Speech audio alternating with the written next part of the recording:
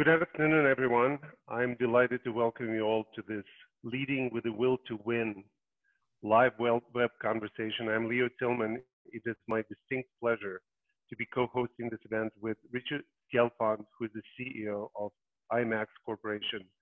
Richard, who is a longtime colleague and friend, is a visionary leader and thinker, and I'm so excited to have this opportunity for Richard to share his perspective uh, about leading and developing strategy and keeping organizations together in a crisis. We have a great group of executive board members, senior professionals from around the world.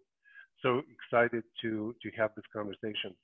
In terms of logistics, uh, we will have a prepared portion uh, where Richard and I will cover a number of topics that we believe will be of, of interest and relevance to a wide range of organizations. And then we will take some questions. You can email them to live at lmtilman.com. That email address should be in your confirmation letter. We received a few already, and it's going to be fascinating. So, Richard, so delighted to have you here. Um, this is a, a time where we're all trying to understand what's going on and shape the path to the future. How are things at, at IMAX? What are you guys are focusing on? Well, how are things at IMAX is uh, is um, leading like how is the play Mrs. Lincoln, Leo? Because um, every IMAX theater in the world, except for a handful, are closed, and um, we've been in a zero revenue environment since around March 15th, about two months. Um, there are still three countries that are open a little bit, which is um, Taiwan, um, parts of Korea, and Hong Kong. Uh, but other than that, we're in pretty much a shutdown. But as we'll get into in this conversation, you know, we don't really approach life in a binary way. So even though um, I'll go back to my Mrs. Lincoln analogy, you know, the play is okay. It's not as bad as you would think.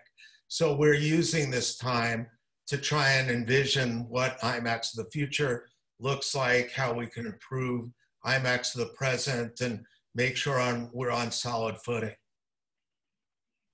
Look, it's no secret that I've been fascinated with the firm for a long time, and that's why General Jacoby and I did a, the whole case study on IMAX in our recent book, Agility. So, in it, what was striking about it is that this company was totally below the radar screen before you took it over, and then you created this disruptive, bold vision, and you you went to implement it and become a major player in the entertainment industry um, transformed business models, transformed relationships with different counterparties.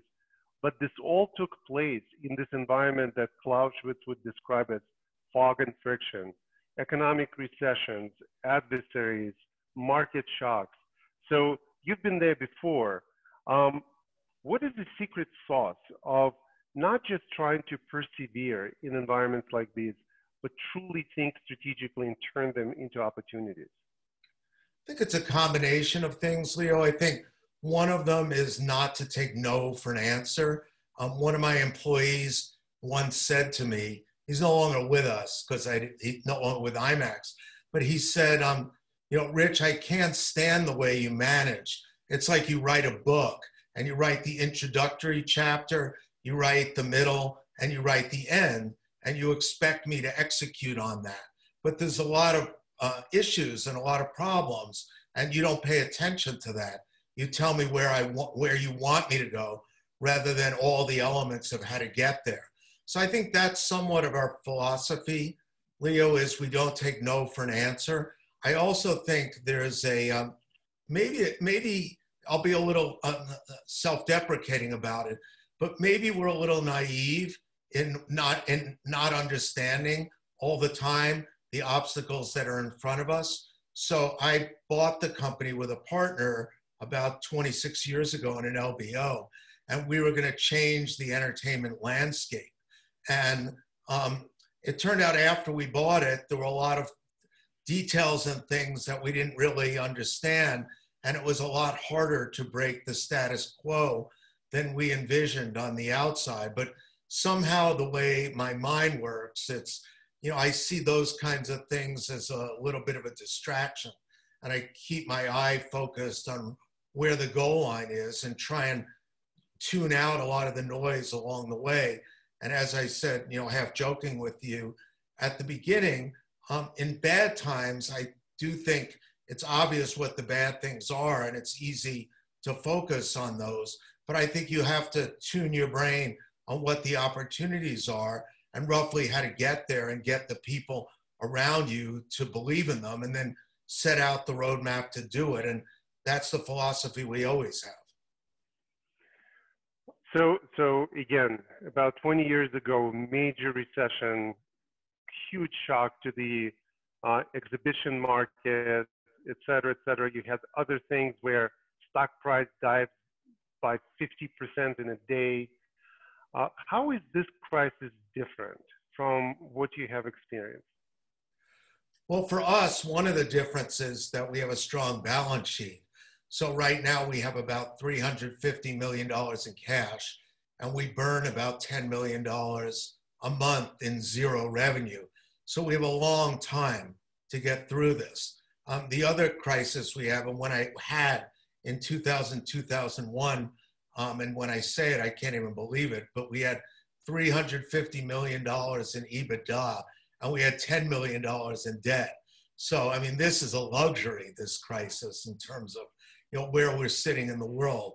So th- that's one place. The second thing is the um, the first crisis, which was the meltdown of the global exhibition industry, and literally virtually every major chain went bankrupt or restructured.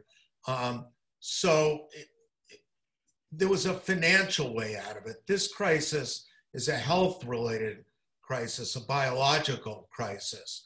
So it's harder to see a linear way out of it. Um, won't surprise you, Leo, but consistent with the way I approach the business, I approach um, elements of life. And I do happen to believe, um, and I, you know, I'm not naive about this. I talk to a lot of people that in a reasonable amount of time, there'll either be treatment or vaccine and the world will return to normal. So in this one, I could kind of see a time frame, and you could divide that in two parts. There's a time frame to reopen theaters, but there's a time frame to some semblance of normal. And I spend less time worried about the short term. When are the theaters going to open? How long are they going to be open for? Um, because I have the luxury of a strong balance sheet. And I'm quite a bit more focused on you know, when we get through the worst of this crisis, you know, what does the entertainment landscape look like?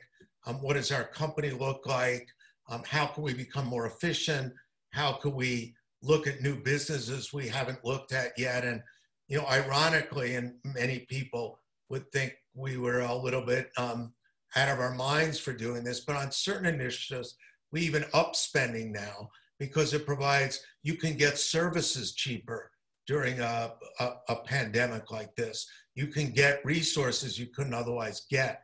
So this one is just a very different perspective. In the last one, you know, our survival was somewhat at stake. In this one, it would take very extraordinary circumstances to threaten our survival. I was I was going to um, to ask you a bit more about it. So, uh, the vast majority of companies that we speak to, that we know of, spend the past few months making sure that their people can work and function from home and that they're safe. But the vast majority of activities have been purely defensive, cutting costs, delaying every single investment and M&A they could think of, thinking about supply chains. Um, you were doing quite the in, in cutting, cutting, cutting uh, people and costs you, you're doing quite the opposite. You, you kept the company together. You avoided layoffs. You're thinking about actually investing. Tell us more. Yeah, I think um, I think the fact we went through this once before was somewhat helpful. That that we we lived through it. Also, Leo, I mean, when I gave you the financial status of um, cash burn and cash on hand, I came to the conclusion that um, making a lot of cuts wasn't going to fundamentally make a difference in whether we survived or not. And if this gets worse, we have the option to cut deeper if we feel like doing that. But I thought when I looked farther out that what we were going to be as a company was more dependent on how we use the time and what our investments were on and whether how we used our personnel during this time. So you raised the point about not really um, laying anyone off, which we haven't. We we went to a four-day work week in some cases, and um, in a few cases, uh, three or four-day week. But the reason for that is I, I, I certainly felt having a family values, not to use an overused terminology in a different way, but I felt like um, we run this like like a family business in a way, and I felt keeping people on in the long term was going to be something that they would remember and they would um, appreciate. So that was part of it. The other part of it was could we really keep all of these people engaged? Was there enough for them to do? Because certainly we weren't going to spend the money on keeping everybody unless there was um, they could be doing useful things. And we um, we we the the key to that is largely communication. Um, so our management team, um, we started with three calls a week, and now we have two calls a week. And then I created another sort of, it's not the name, but it's effectively an innovation committee that meets once a week. And we take the messages that we want for everyone in the projects and we go out from that central point. And then in following weeks, we report back. So what's happened in the innovation area, what's happened in the management area, are people really engaged? And then we also do a little less than once a week a global call with all of our employees. And um, we have offices probably in seven or eight countries, but we operate in over 80 countries. So we also feel like direct content contact, especially from me, is important because I think they need to hear a little bit of their vision. It's fine and it's important that it get filtered in the organization, but I think they need to hear it from the leader. And I also think people are smart enough um, to know if people are um, not being truthful with them. So I think when they hear me, um, you know, say what I'm thinking and what the vision is, and by nature I tend to try and be very direct. So I don't sugarcoat it either. So if people say, when the theater's open, is this all going to be fine and wonderful? I, I say, I don't know. It's a virus you know, we're going to have to see what happens. And I talk about, you know, positioning ourselves to succeed if it is fine, but how to position ourselves if it isn't fine. And I just think the whole organization um, over time benefits when you deal really straight with them. I think they could smell a rattle uh, um, far away. Absolutely. You bring up so many points that are that were critical to General Jacoby and I in shaping uh, this theory of agility. One, the role of authentic leadership and the role of leaders in shaping this strategic and moral true north for their organizations, in living it rather than saying it. That's, that's hugely important. The bias for offense. Uh, but you also emphasize one more point that is critical, which is the relationship between resilience and agility, right?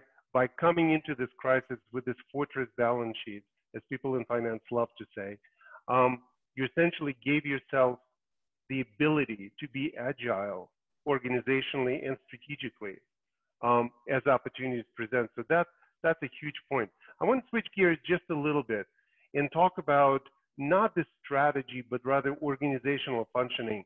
Uh, you already mentioned it when you said that you give someone a direction and then you let them be and let them execute.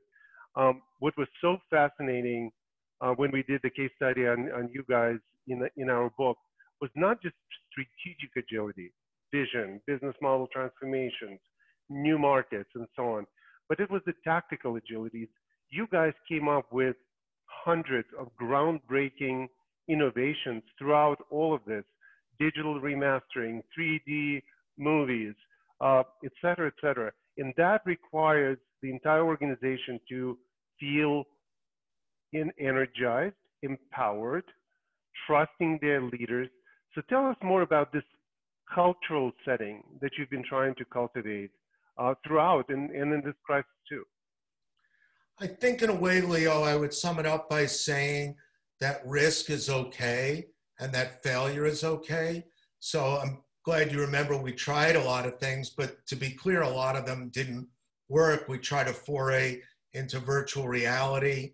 Um, that didn't work. Um, it we, we set it up in a measured way so we wouldn't spend that much money if it didn't work and gave it a real test.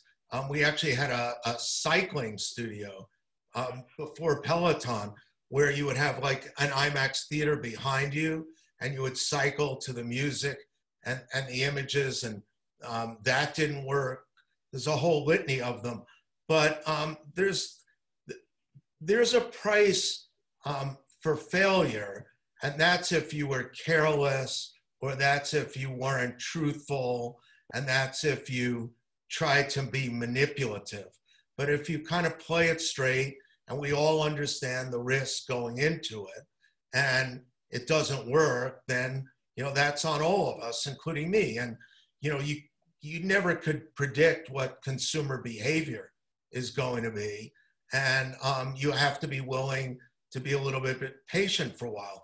Now that's somewhat difficult in the context of being a small public company, because um, you know I could show you the the notes and the analyst notes that said, you know, uh, this idiot failed in doing virtual reality.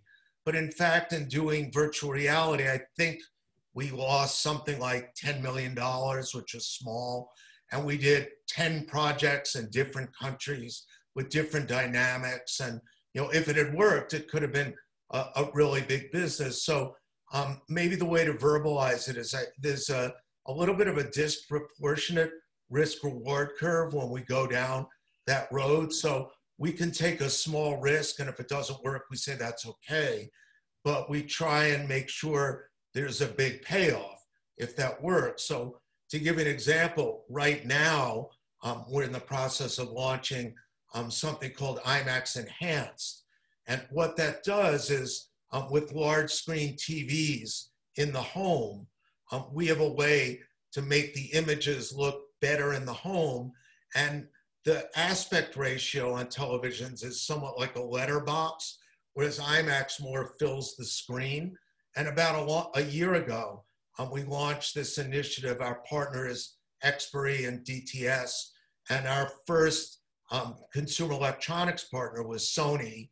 And then we use them as a content partner with Paramount. Anyway, I don't want to get too much in the details, but um, it's it's quite small now. It's not a big initiative, um, but if it works, it could be quite a large initiative. And um, you never know. But we're using this time now to talk to streaming services because obviously there's more content going in the home than before.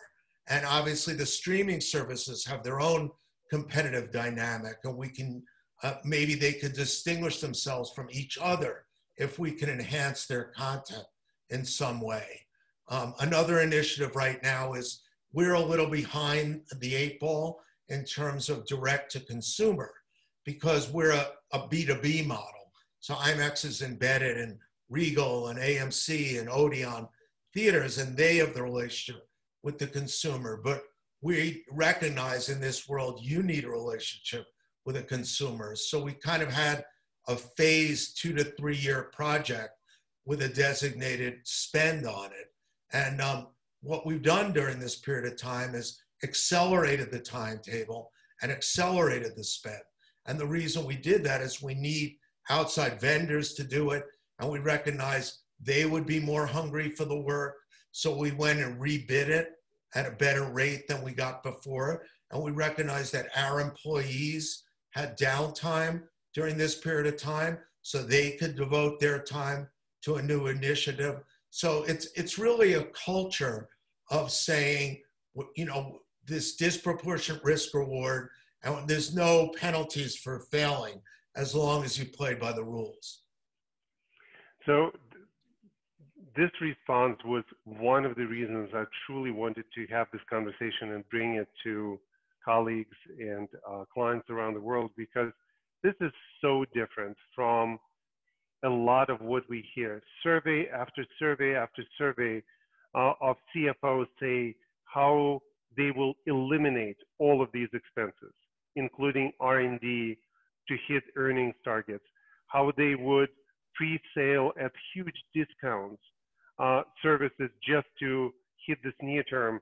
And you seem to, to do the, the, the opposite. And in our conversations over the years, one of the ways that you and I phrased it is in terms of risk. What is the risk of not doing that? Would you comment on that? Of, of not doing. Um, of not investing, of not reacting this way in difficult times. Well, first, I, I think you'll find framing of it a little interesting, Leo, which is um, in a zero revenue environment, the street has no expectations for you.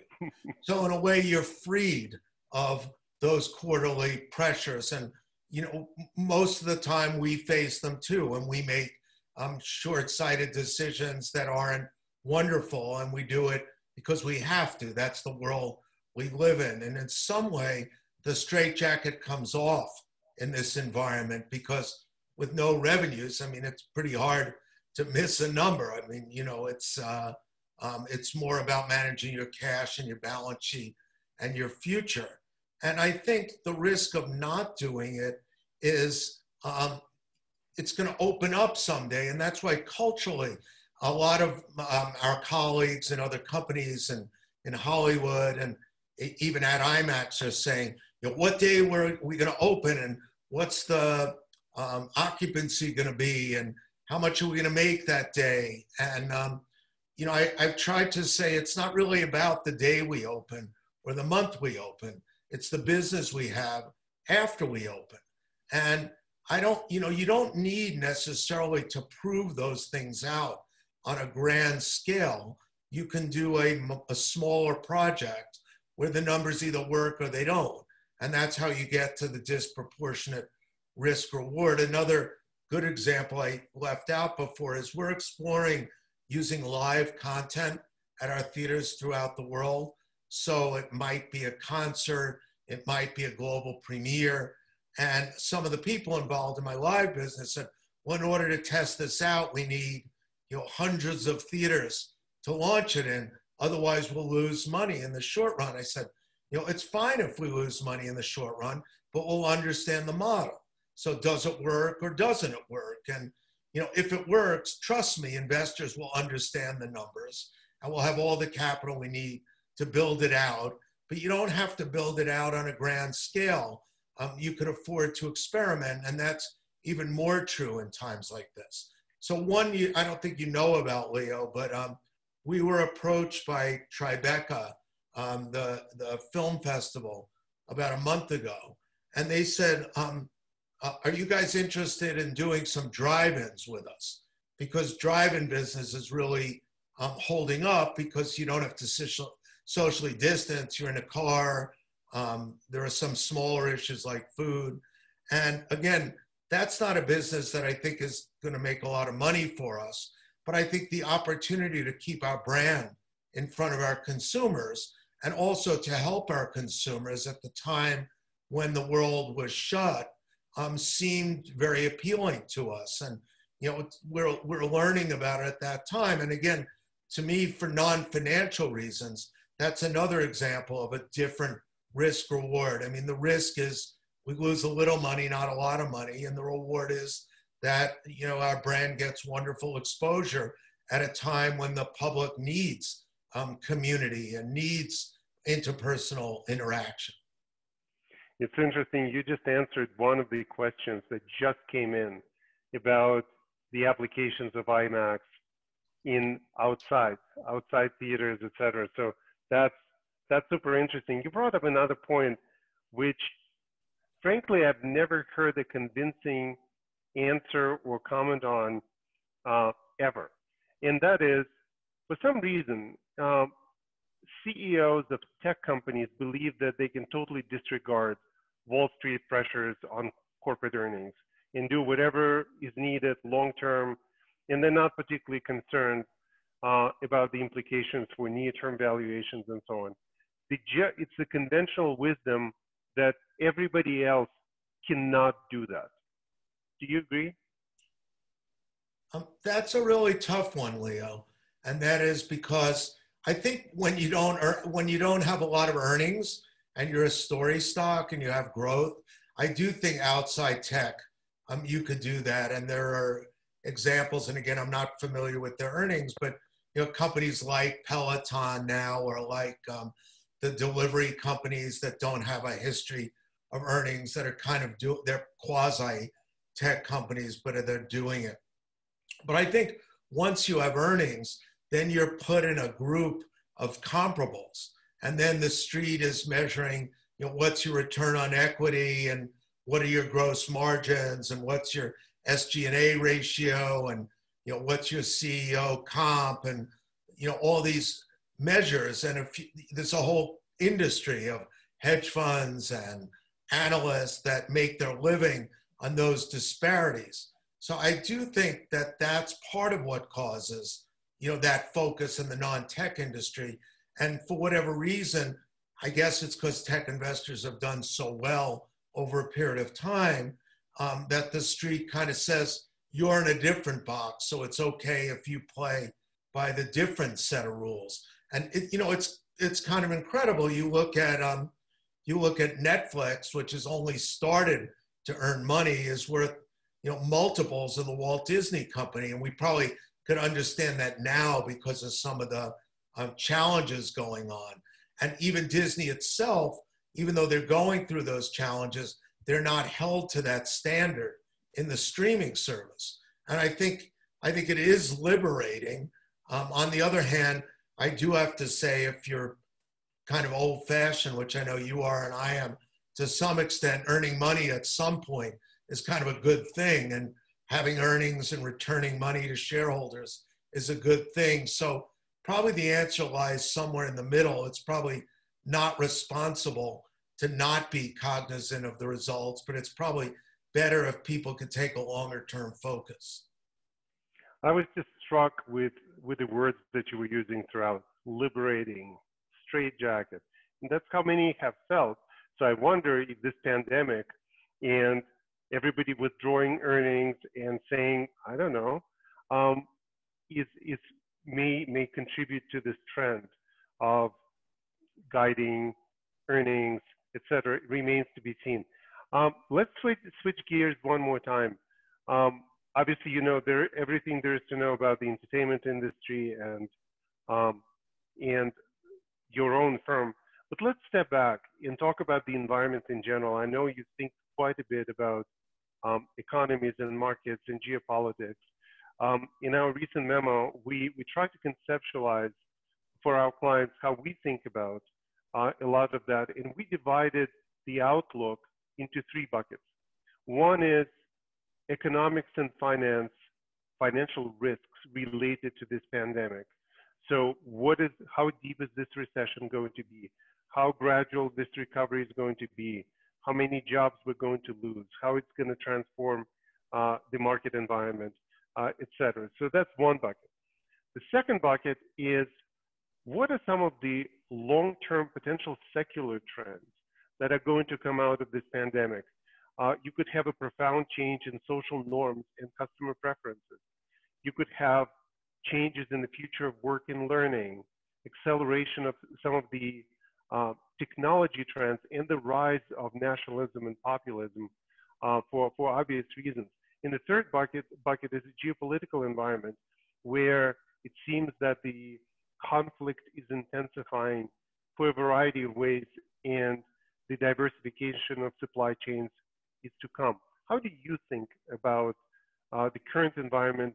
What are your general views on, on all of that? So the one that is the most interesting to me is the second one about trends. What's going to happen to trends? And um, you know, as a general matter, Leo, and this may be a um, a shortcoming of mine. I, I, I, especially in the entertainment business, people love trends. So if there's a good tornado movie, you could be sure there's going to be three tornado movies the next year. And then um, when one of them doesn't work, they're going to say fire someone who's the idiot that did the tornado movie? Because one of the advantages of trends is it lowers your personal risk, right? You can say, that was the trend, that I'm being part of that trend. So I do think um, it, you know, it depends to some extent on how long the shutdowns last for and the social distancing. But I think it takes a long time um, to change a trend. So, a, an industry I know well, entertainment and movies, people are saying, well, with streaming and um, you know staying at home, are they ever going to go to the movies again? And I like to remember my trip to Pompeii, um, where people went to theaters um, to hear, to get entertainment, you know, thousands of years ago. I don't think um, the invention of Netflix is going to change thousands of years of human behavior. And I would even say that maybe the other way, um, my wife, who I love dearly, but sitting on the couch with her every night, watching different streaming things for the umpteenth time, we want to rip the doors off and go out and do something different. So um, I, I don't think that a lot of the historical behavior is permanently changed because of the circumstance. On the other hand, I've heard a lot of smart people say it, and I think they're right. I do think some pre existing trends um, will continue um, and accelerate because of this. So, you know, for example, shopping online is, you know, one of the easiest ones. Um, we've shopped online for a while, but a lot of people don't. And I think once you discover the convenience of shopping online, that's really going to be a long term trend that's going to accelerate. Um, you know, I think probably it's going to lead to changing malls a lot faster than, than, than, than people had thought about. Um, so that's kind of what I think about that. And geopolitical, one of the things you didn't mention um, um, when we talked at the beginning in the introduction is that I have a very large presence in China. We have 700 theaters in China. It's our largest territory in the world, including the United States. And uh, for an IMAX film, we're 10% of the Chinese box office. So I understand it, you know, fairly well. I'll start by saying it, I hope it doesn't lead to strains in geopolitics because I think um, you look at numbers like people being lifted out of poverty and all kinds of measures, you know, disease before this, a lot of other things. There were so many positives coming out of um, interacting more with other countries and opening borders and whatnot. I think in the short run, it definitely will um, influence the geopolitics and in, in probably not a very good way. And I think that's accelerated um, by the election year going on now. However, I hope the Chinese, and I believe they are, sophisticated enough to understand that it's a US election year and certain things um, flow from that. So I guess I would see it as a wave. Leo, I think it'll get a little bit worse right now, the geopolitical situation, but I think over time, I think it'll come back as, as the world comes back. And then the first area you mentioned, which was you know, economy, finance, again, this is an easy answer uh, but it, it depends on the duration of this. But I think we're incredibly adaptive as human beings.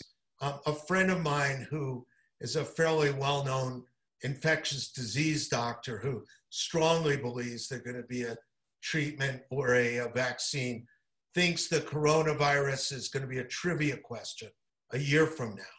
And, you know, God hope he's right. And he was exaggerating to make a point.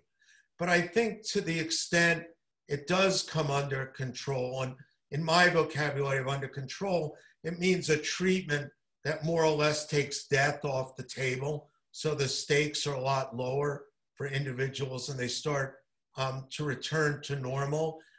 I, I just think people adapt. So 9 11, which certainly has changed a lot of things, whether it's security at buildings or how you board aircraft and all kinds of things. We learned to adapt to that.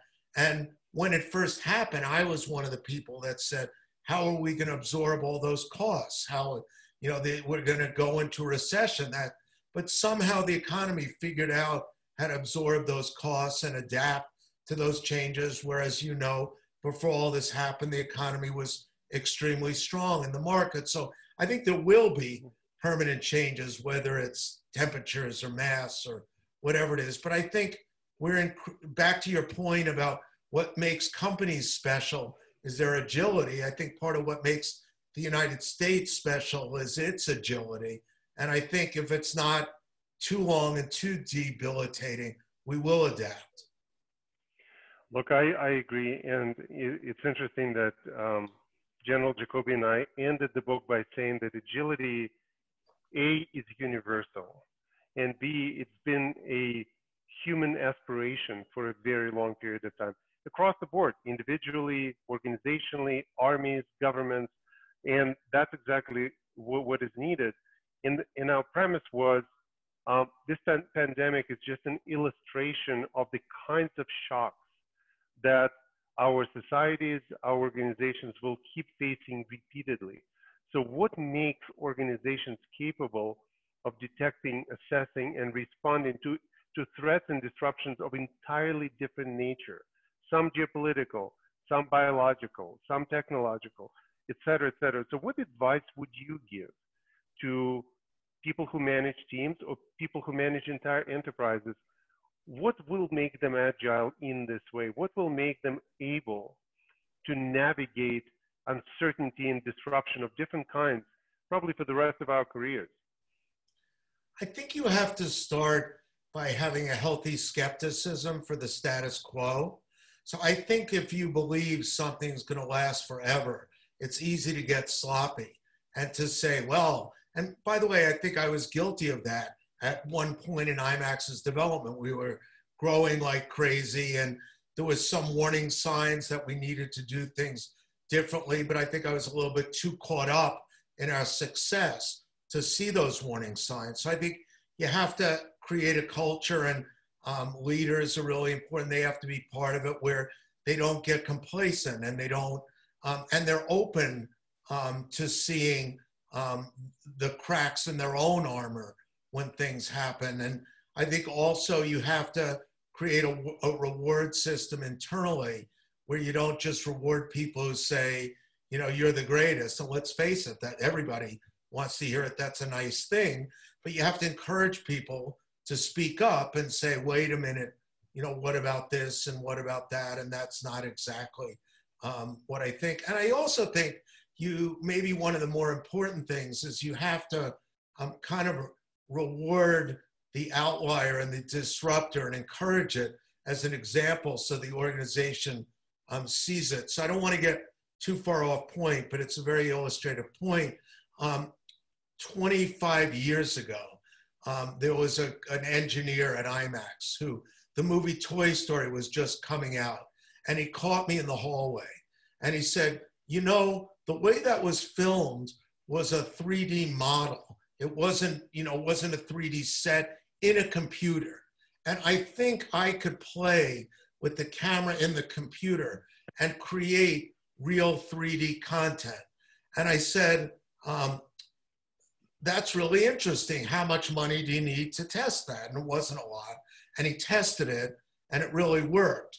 And I've kind of internally told that story a lot of times and used it in an illustrative way. So you make heroes out of people who come up with innovative ideas and, and follow them through. And I think that's an important because if you just make heroes out of people whose unit delivered the most profit that quarter or who you know cut margin who increase margins or cut spending that sets up one kind of organization i think if you create other heroes that sets up a different kind of organization you know, you bring up these super important cultural points. I, I always love this Toy Story example. We actually used it, used it in the book.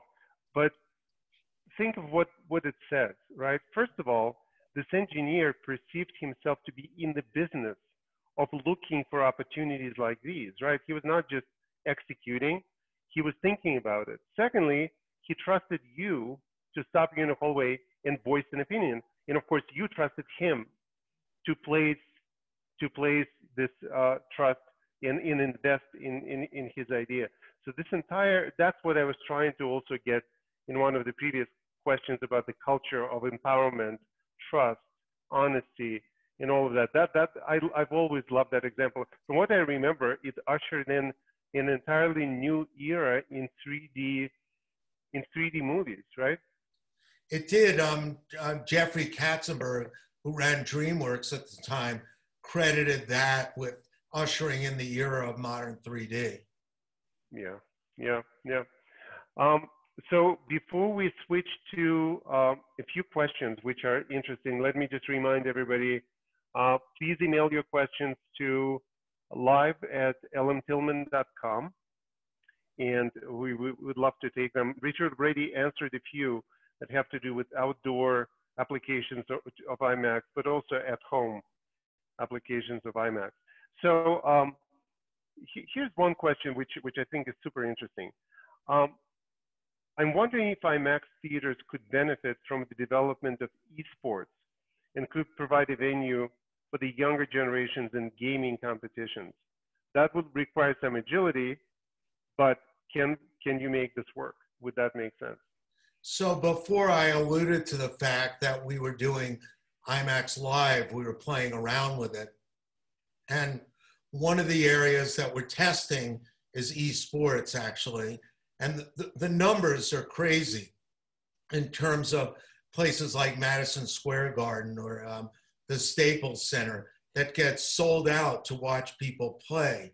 Um, so, in terms of this idea of putting live in, in theaters, we've we actually um, partnered with someone who knows this area well, and we're trying to see whether there's a market there where you could show regional tournaments, final tournaments, um, you know, first as a spectator sport, and whether that would be interesting. And then, as you say, Leo, you could layer levels on it. Gambling has been coming more illegal in more places. So, could you layer gambling on it at some point?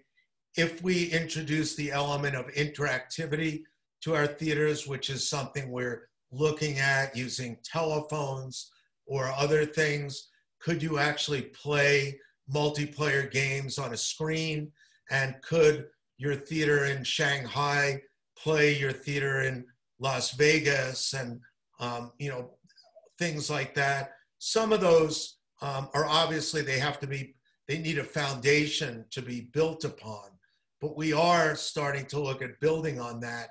And we've had discussions. Esports in Asia, as you know, and you probably know in the questioner, is much farther along than here. Um, so we're looking at different tests that we could do on a smaller scale with esports in Asia. And um, we've we tested um, soccer as a spectator sport, live soccer in a number of theaters. Um, we tested um, NHL hockey um, in one in, in, in, in a few theaters. So I definitely think esports is interesting. And that's an area, Leo, back to what we were talking about before, where there's, in, in my opinion, a disproportionate risk reward curve. It's a good example. You can test it in regions, you can test it in theaters. I don't have to test it in a thousand places at once. And if it works, then you could expand it and it could be a really good business. Got it. Um, so the next question I think is super interesting. Um, because it will bring up some, some memories for you. Uh, when we were doing uh, the case study on IMAX, I recall that you have to navigate a very complex Hollywood ecosystem. You created this vision to become a key player, but your value proposition, your position in the value chain was tricky in between movie studios and exhibitors, and you had to uh, create a value proposition for them. You, you redefined your business model. It was super interesting. So, so here's the question. With the Paramount consent decree being terminated late, late last year, it now opens the door for film studios to enter the exhibition market. I personally think that having the entire cinema experience owned by the studio could make it more controlled and immersive experience for film goers. What are your thoughts on studios entering the exhibition market? So I think the Paramount decree going away wasn't as big a deal as the media made it. Because I think the world's been moving in that direction for a while. And for example, streaming companies um, like Netflix were rumored to have looked at um, at uh, exhibition companies. So a lot of the kinds of things that you know could have happened probably could have happened even before the decree. You know, Apple could buy somebody or Amazon could buy somebody, which, which is a similar dynamic. Um, I think for studios, it's a little bit complicated because um, they're a little bit like Switzerland. So they're friends with AMC, they're friends with Regal, they're friends with Toho in Japan, they're friends with Wanda in China. And, um, you know, there's access to a lot of information because they're non partial and you distribute a blockbuster by going globally in a big way. If you're allied with one exhibition chain, that becomes a little bit more complicated. It's not impossible because if you look at that industry at a different level, so Warner Brothers, I think, made Friends, and Friends was on NBC. So there's a little bit of a history of getting around conflicts like that. But I think that one um, would be a little bit dicey. And then you also have the question of filmmakers work for different studios. So, you know, big name filmmakers, Steven Spielberg has worked for a lot of different studios on his projects. Is he, how's he going to feel if his movies are only released at this theater chain and not that theater chain? Um, with that said, though, at a, at, at a broader level, um, a longer term trend seems to be um, the technology world and the real world. And, you know, the most notable example is Whole Foods and Amazon, or although there are a lot of other ones, Barnes and Noble going back into real bookstores. And it's kind of ironic that um, the streaming companies, um, you know, what they're doing is just distributing in a different way. So um, when television came along, that was a different method of distribution of movies. Um, DVDs was a different method of distribution. So streaming is a different method of distribution. However, the streaming companies have also gone into production and content creation.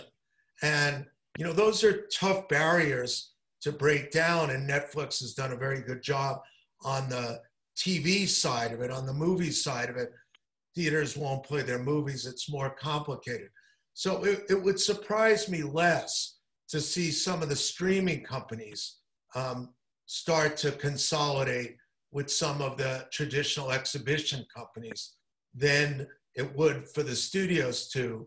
And, you know, that's something we, IMAX, have thought about long term. If you look out into your future and you look at the use of data as a way to market, and you look at theatrical as a way to advertise your own content and distinguish yourself in a more um, concentrated marketplace. So I think that's the area that is more likely to me than studios.